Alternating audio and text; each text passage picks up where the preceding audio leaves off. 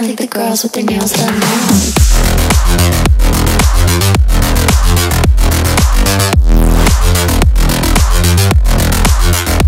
Girls with their nails done. Girls with their nails done.